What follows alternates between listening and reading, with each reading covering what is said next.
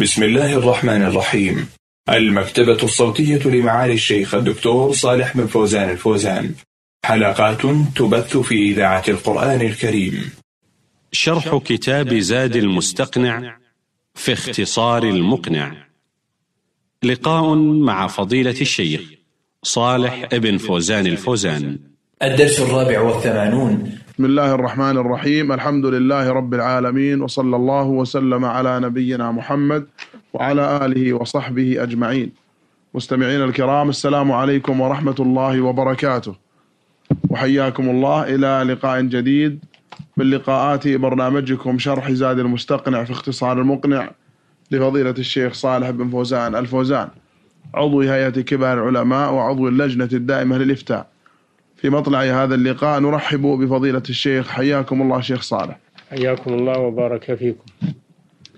نعم. ما زلنا مع المؤلف رحمه الله في كتاب البيع ووقفنا عند قوله باب الشروط في البيع. بسم الله الرحمن الرحيم. الحمد لله رب العالمين صلى الله وسلم على نبينا محمد وعلى آله وصحبه أجمعين. قال رحمه الله تعالى باب الشروط في البيع. الشروط جمع شرط. والشرط لغة العلامة. قال تعالى هل ينظرون إلا أن تأتيهم الساعة هل ينظرون إلا أن تأتيهم الساعة بغتة فقد جاء أشراطها أي علاماتها. والشرط كما عرفه الأصوليون هو ما يلزم من عدمه العدم. ولا يلزم من وجوده وجود ولا عدم لذاته. والمراد بالشروط هنا اشتراط أحد المتعاقدين على الآخر ما له فيه منفعة. اشتراط أحد المتعاقدين على الآخر ما له فيه منفعة بموجب العقد.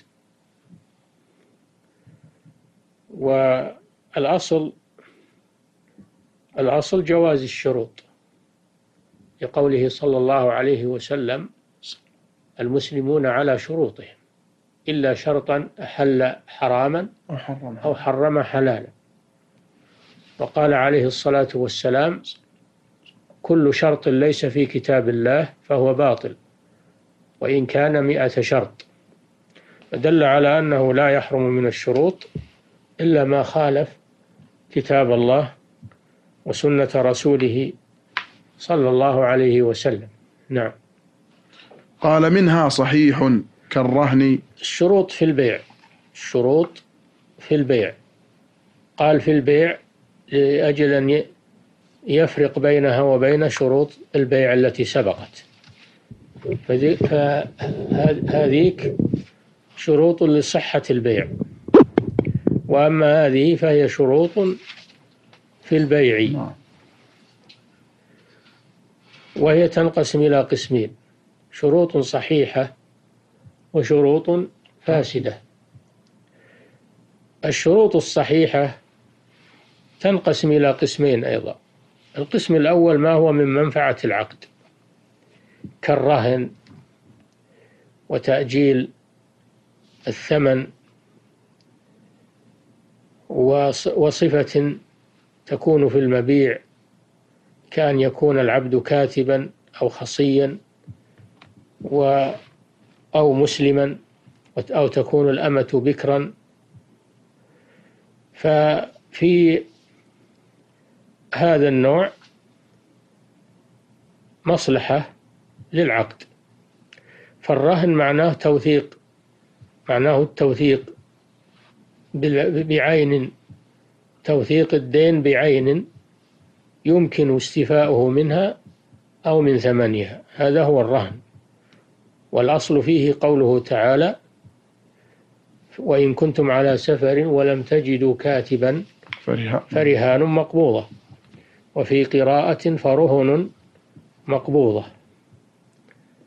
وتأجيل الثمن التأجيل غير الحال لأن البيع على قسمين بيع حال كان يقول هذه السلعة بمئة حالة أو هذه السلعة بمئة وخمسين مؤجلة. فالتأجيل أيضا من مصلحة العقد. الرهن من مصلحة العقد لأنه توثيق له. نعم. والتأجيل أيضا من مصلحة العقد لأنه يرغب المشتري. المشتري يرغب المؤجل. وكذلك صفة في المبيع. هذه مما يرغب المشتري. كأن يكون العبد كاتبا يعني يحسن الكتابة أو يحسن الصناعة آه، أو غير ذلك من الحرف فإن هذا مما يرغب الزبائن فيه ومما يزيد في قيمته. فإذا شرط المشتري أن العبد الذي اشتراه يكون يحمل صفة من الصفات المرغبة كالكتابة والحرفة المقصودة أو أن يكون العبد أو خصيا وهو آه، مزال الخصيتين أو الموجوع وذلك من أجل غض بصره غض بصره عن عن عن النساء لأنه سيكون في البيت وفي الخدمة. فإذا كان خصيا فإنه تؤمن معه الفتنة, الفتنة بخلاف ما إذا كان غير خصي فإنه لا تؤمن منه الفتنة. أو أن يكون العبد مسلما. أن يكون العبد مسلما لأن العبد المسلم له ميزة على العبد الكافر. نعم. والأمة بكرا. أو تكون الأمة التي يشتريها بكرا لأن البكر آه، أرغب من من الثيب ويكون لها زيادة قيمة ولها رواج إذا أراد أن يبيعها بخلاف الثيب. فإذا شرط المشتري هذه الصفات في المبيع فهذا شرط صحيح لأنه لغرض صحيح ولأن له تأثيرا في الرغبة. نعم. ونحو أن يشترط البائع سكن الدار شهرا. وحملان البعير. النوع, النوع الثاني من الشروط الصحيحة أيضا آه، أن يشترط نفعا أن يشترط المشتري أو البائع نفعا في المبيع. نفعا في المبيع, في المبيع. فاشتراط البائع النفع في المبيع كأن يبيع دارا ويشتري سكناها شهرا أو يبيع بعيرا. ويشترط حملانه إلى موضع معين كما فعل النبي صلى الله عليه وسلم مع ابن عمر رضي الله تعالى عنهما. فإن النبي صلى الله عليه وسلم اشترى من ابن عمر بعيرا فشرط ابن عمر على الرسول صلى الله عليه وسلم أن يحمل عليه إلى المدينة فأعطاه النبي صلى الله عليه وسلم ما شرط. ولا بد أن يكون الموضع الذي يحمل إليه يكون معينا لتزول الجهالة. نعم. أو شرط المشتري على البائع حمل الحطب أو تكسيره. أما النفع الذي يشترط للمشتري على البائع فكما لو شرط على البائع حمل الحطب اشترى منه حطبا وشرط عليه أن يحمله إلى بيته أو إلى محل كذا. فهذا بيع وشرط وهو جائز لأن هذا الشرط فيه نفع للبائع. وقد اشترى محمد بن مسلمة آه، حزمة حطب من نبطي من الأنباط وشرط عليه حملها إلى بيته. أو شرط نعم. أو شرط خياطة الثوب أو تفصيله. أو شرط على البائع أو شرط المشتري على البائع تكسير الحطب. كما لو اشترى منه حطبا وشرط عليه أن يكسره له.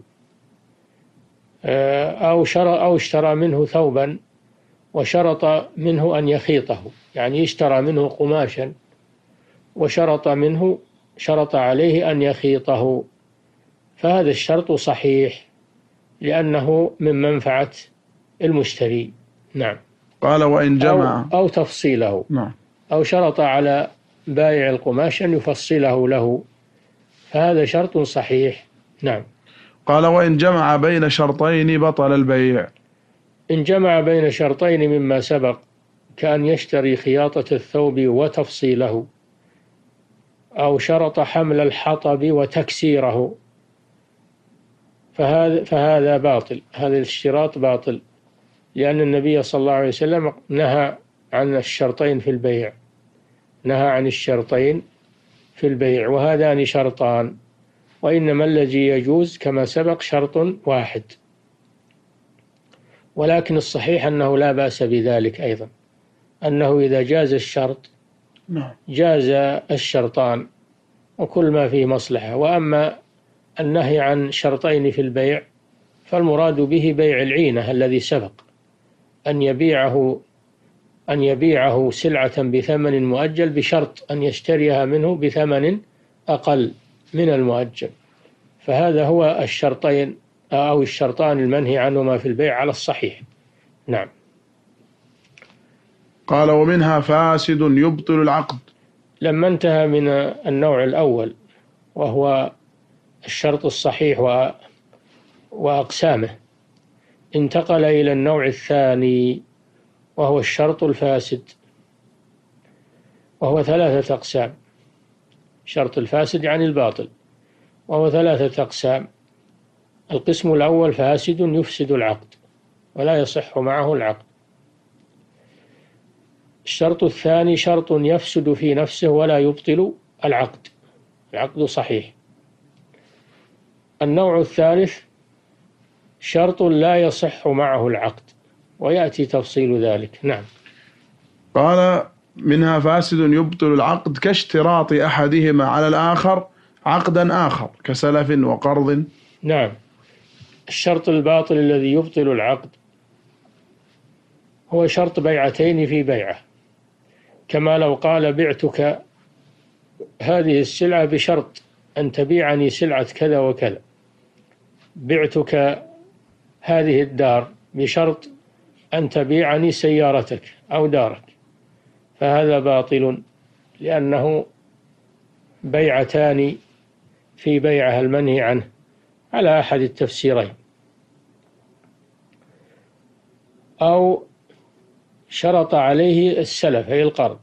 بعتك هذه الدار بشرط أن تقرضني كذا وكذا من النقود. فهذا بيعتان في بيعة لأنه بيع من طرف وسلف من الطرف. الآخر. الثاني مشروط أحدهما في الآخر فيبطل ذلك لأنه هو معنى بيعتين في بيعة على أحد التفسيرين.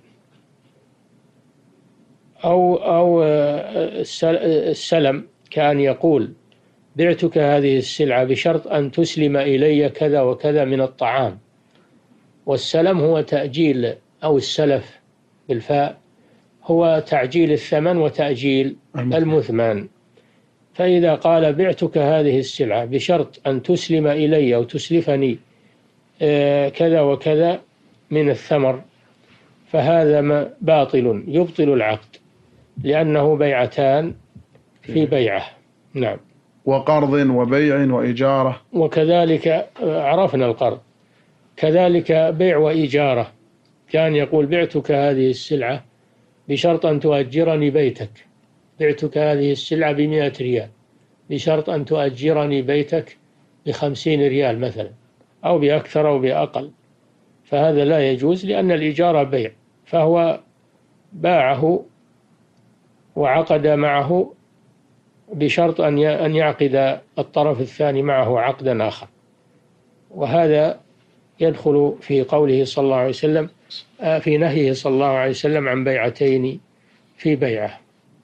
وكذلك إذا جمع بين بيع وصرف.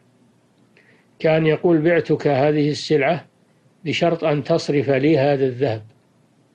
أنا بعتك هذه السلعة بكذا وكذا بشرط أن تصرف لي هذا الذهب بدراهم. أو العكس أن تصرف لي هذه الدراهم بذهب.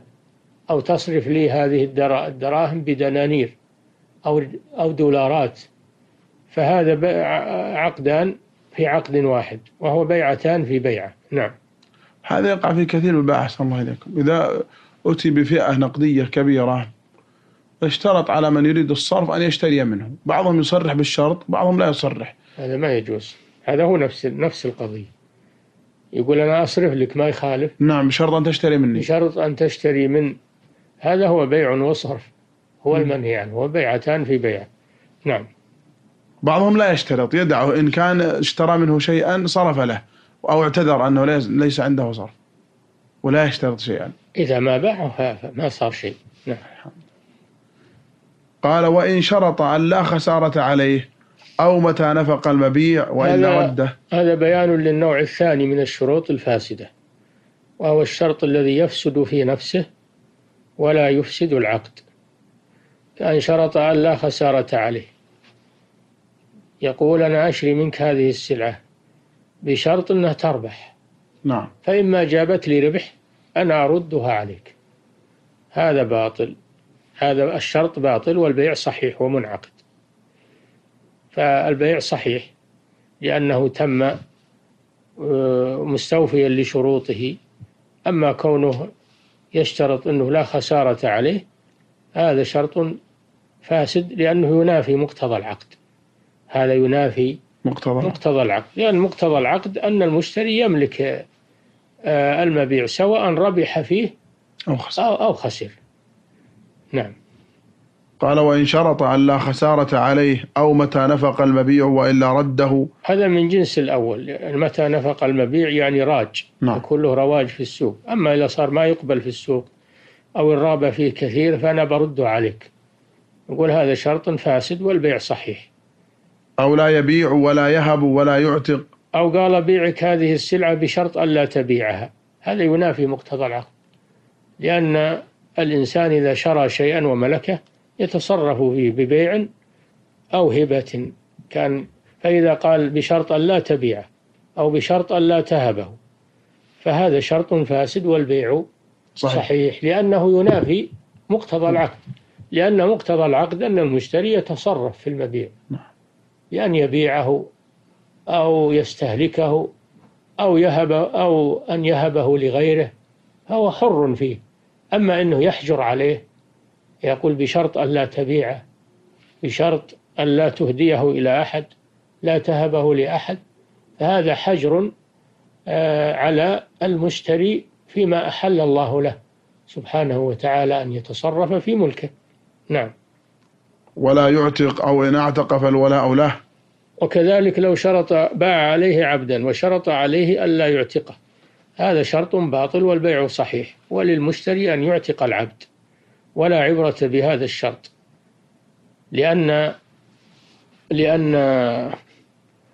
لأن المشتري إذا ملك السلعة وملك العبد جاز له أن يتصرف فيه بأي نوع من التصرفات المباحة ومنها العتق للعبد بل العتق مرغب فيه فلا يحجر عليه ويقول له لا تعتقه.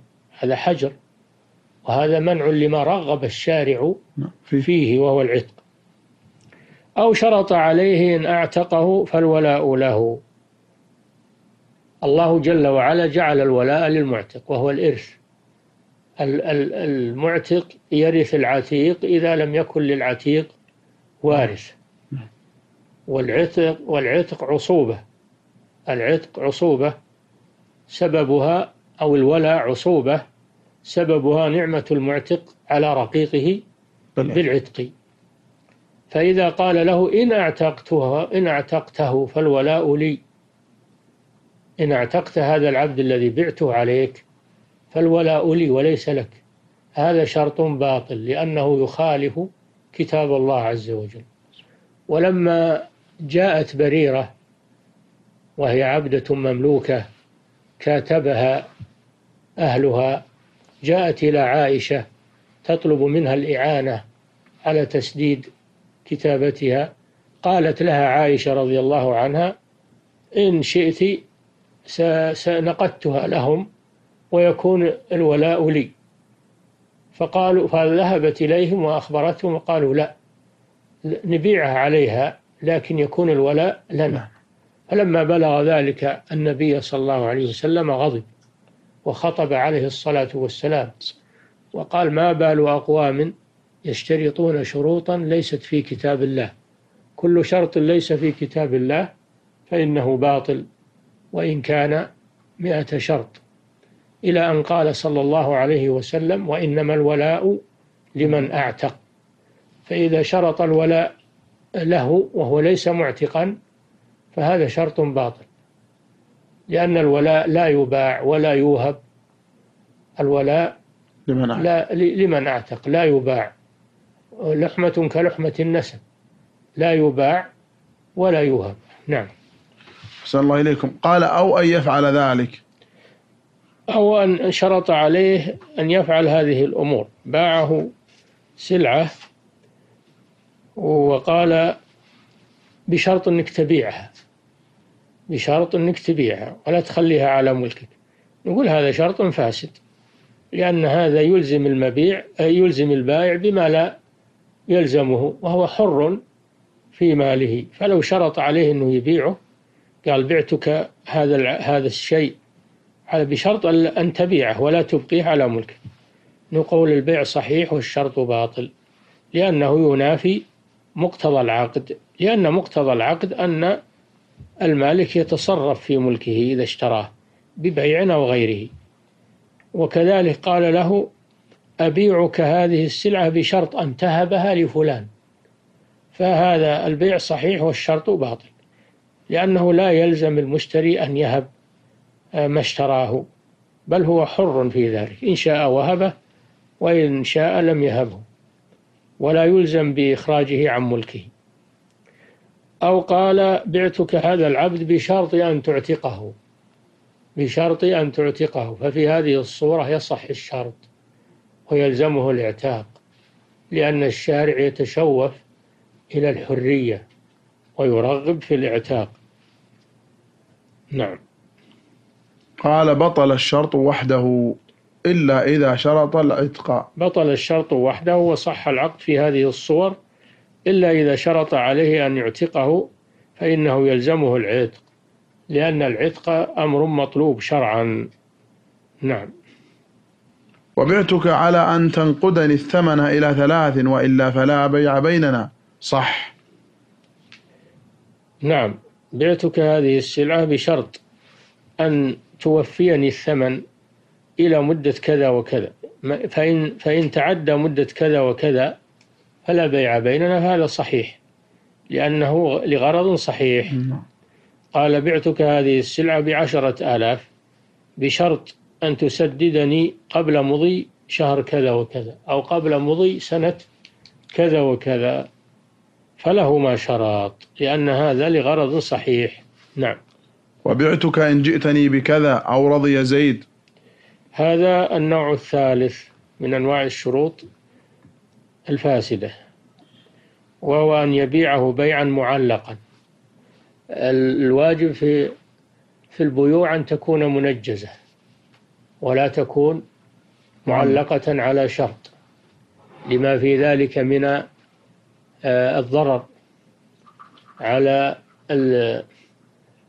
على المشتري لأنه لا يتمكن من التصرف في المبيع لكونه بيعا غير مجزوم به.